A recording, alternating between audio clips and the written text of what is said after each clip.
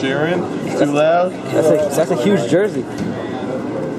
Connor, C O N N E R. I like blue.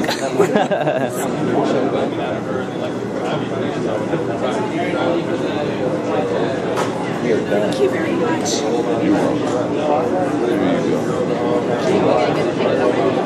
All right, we're right here with Luke Walton. Luke, I want to ask you something real that's gonna address like parents all over the world. This kid got beat up by seven bullies, and then they put up a video of it. and went up, and it's all over the world. Like, what's your message to all the bullies all over the world? Ah, to stop being bullies. Uh, the world's tough enough place uh, for, people and kids, and spend your energy efforts on making the world a better place. That's what all, all people should do, uh, of all ages. And uh, when we do that, uh, the world will be a better place to live. What's your message to that one kid that got beat up? Uh, you know, I didn't see the video, so I, but you know, uh, obviously I wish him well, and uh, I hope that he uh, he has a full recovery, and uh,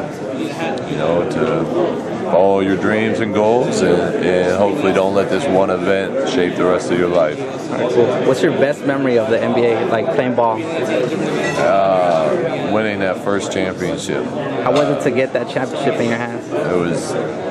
You can't even describe it with words. It was such a good feeling. It was unbelievable. Just all the hard work and effort that our team went through over the years to finally to finally win it was just uh, it was unbelievable.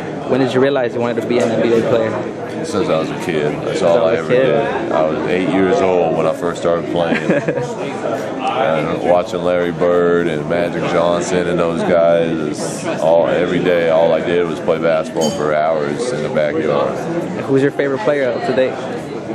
Right now, No, I mean like overall, like oh, growing up it was Larry Bird. Larry Bird. Why is that? So my dad played for the Celtics, so that's the team I watched all the time, and Larry was the best one, and uh, he was the kid. He was the guy I, I idolized growing up. What's the message to all the kids that want to be basketball players? Play for fun, have fun. If you're good enough to make it, you know, congratulations. But don't don't uh, you know, when you're a young kid playing ball, just get out there and play with your friends and have fun and enjoy it.